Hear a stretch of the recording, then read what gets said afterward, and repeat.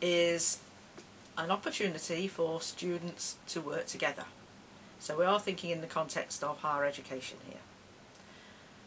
Uh, a group is obviously a number of people brought together for a particular purpose. Okay, some people use the word team as well.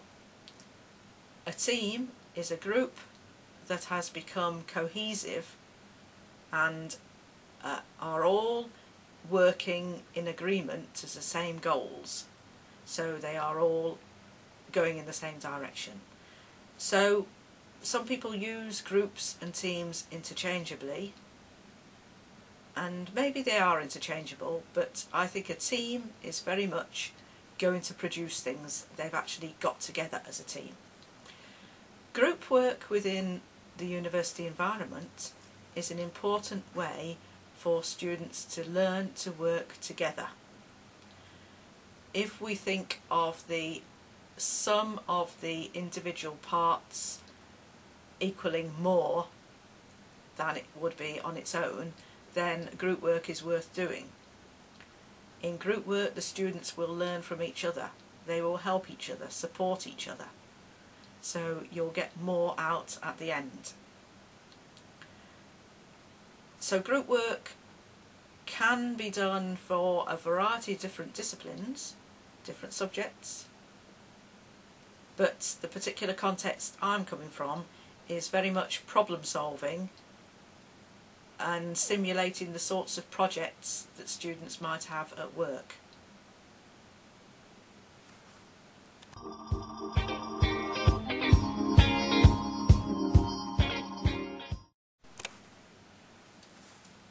Teamwork is very important given that all of our students when they graduate will be getting jobs in which they'll almost invariably be working with other people in order to achieve the aims of whatever organisation they belong to.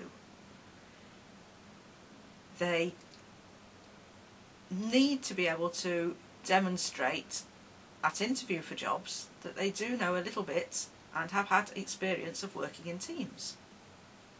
So team working in the university environment is a very risk-free way of developing a range of skills concerned with team working that will make these students more employable. The first thing they are asked about at interviews is have you worked in teams? How did you feel about it? If there were any problems, how did you solve it? So if we can give the students an opportunity to do these things at university where it doesn't matter if it fails. After all, we all learn from our um, difficulties and things that go wrong and they can actually build up a little portfolio of examples of what they have done within their team in order to demonstrate their employability skills.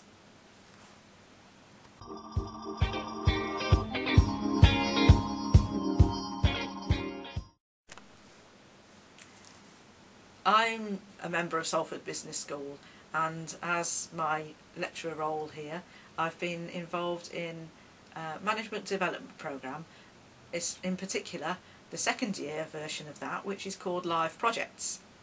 In this module we get our students to work on a project in a team of about eight uh, for an external client and this module gives them opportunities to learn not only about team working but also about how they communicate with people in business. So it gives them a real life business experience within the context of the university. Um, it's now been running two years and I get a lot of feedback from the students on what they feel about it.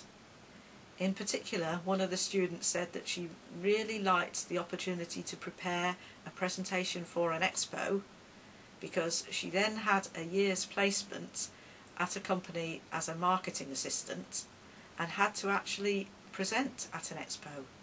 So she thought the experience was really good and very useful to her. Most of our students in placements actually work within teams at their place of work. Some of them have to work in global teams where communication using all sorts of online media is important. And they have said how useful the opportunity to work in a team has been in that respect.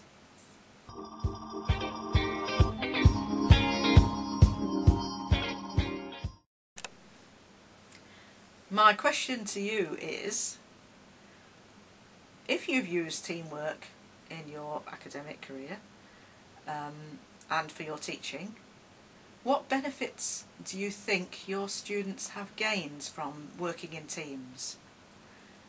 And how do you go about organising your teamwork um, learning activities for your students?